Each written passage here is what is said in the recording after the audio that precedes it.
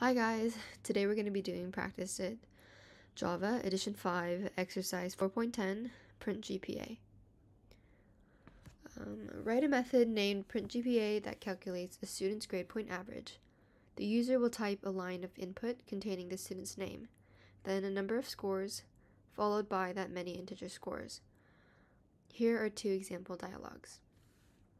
Okay, so if you look at the examples, um, we get user input, right? Enter a student record. We'll probably have to end up using scanner. Um, and what they give us is the name of the student, which we need to print out this last sentence. And then 5 isn't actually one of their scores. So 5 is the number of scores that we get. And so all we have to do is add these scores and divide them by the number of scores we get. Okay, so I'm just gonna start off. There are two ways to do this, I think. So I'm just gonna try and show you guys both. Okay, so public static void print GPA.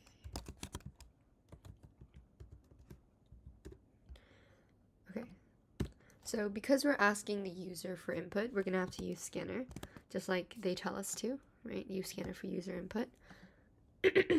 so I'm going to create a scanner object, name mine n.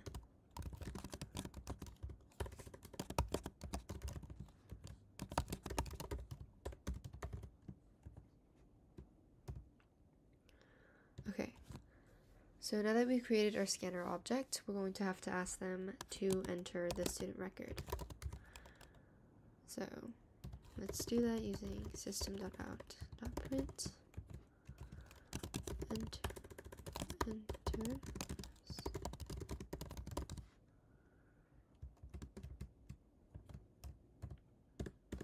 Okay, so now that we've asked them that, what we're going to do is take the name and put it in a separate variable. And I'm going to name my string variable just name and use n.next. So what n.next does is it takes the user input, takes whatever up until the first space. So we have Maria inside name. Okay, so the next thing to do is we have to know how many times and how many scores that we'll be receiving, right? Because in this case, for Maria it's 5 and for Jordan it's 4. So to do that, what we're going to do is, oh no, int. I'm to use int, and I'm going to name my num score and set that equal to n dot next int. So this one's easy because the computer just scans the user input until it finds the first integer, which is 5. Okay, and then the point of like, giving all these scores is to add them together, right? And then eventually divide them by the num score. So I'm going to create a separate variable that's going to have all the total sum of all the scores. And I'm going to make that um, double because obviously if you look at the GPA, it is a decimal, not an integer. So I'm going to name mine sum, set it equal to 0, 0.0. Okay, so now we have to do the work of collecting all the scores. And since we're doing something repetitive, I'm just going to be using the for loop.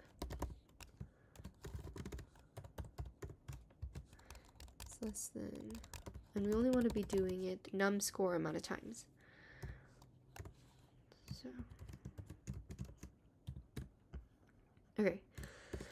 So each time we see a number, what we have to do is add it to the sum, right? So I'm just going to do sum plus equal, and then n dot next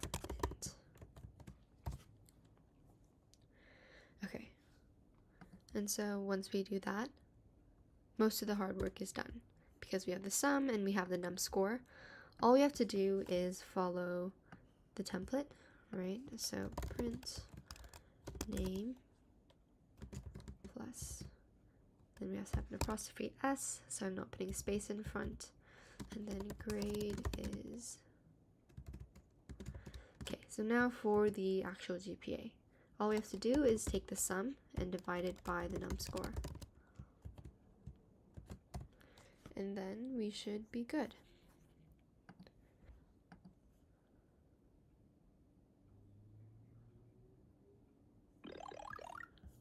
Okay, we're good to go. Okay, so wait, let me show you guys the second method. Um, it still works the same. There's more more code to it, but um, might as well try. So I'm just gonna copy this because the code is pretty similar. So we have our method, our name of the method, and then we have our scanner. The scanner use is still the same, and we still ask the same question. The only thing different um, is starting from here. So what I'm going to do is I'm going to create a string called student record. Just abbreviate that to SR and do end on next line this time.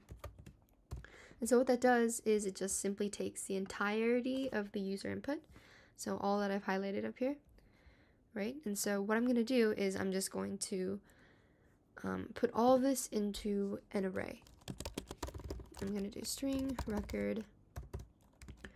Um, I'm naming my area array record, by the way, um, and do sr dot split, and I'm splitting by space.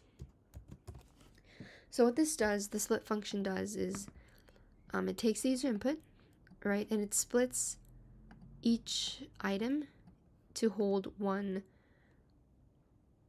one place in the array. So this is at index 0, this will be at index 1, the 5, index 2, index 3, and so on and so forth. Because what it does is it just splits by the space that we put in, right? Um, in other cases, you can change the space to a comma if the object objects that you want separated are separated by commas um, and things like that. So in this case, it's separated by spaces, so I'm going to save it at spaces. Um, and then yeah, so that's how we put it into an array. And so now that we have everything in an array, um, this name is going to be, I'm just going to change it to record and change it to the first index, index 0 right? Because this array right now is basically just going to be Maria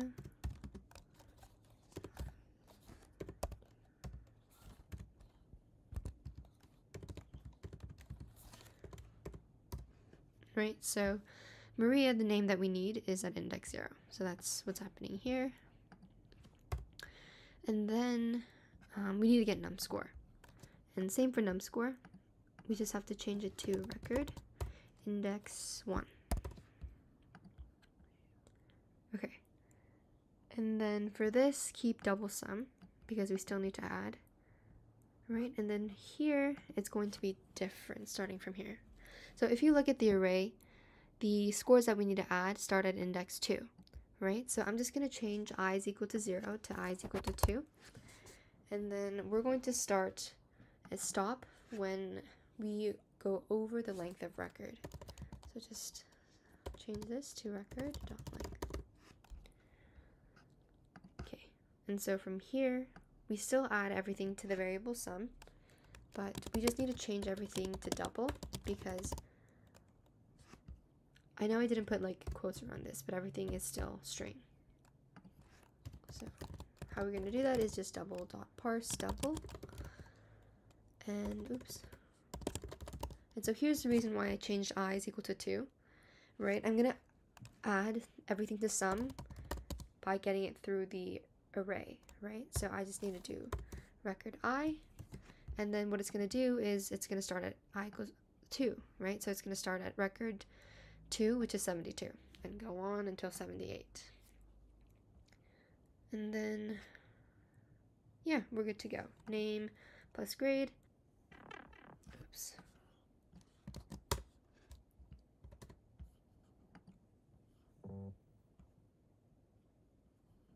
Oops, let me just integer parse it this really quick.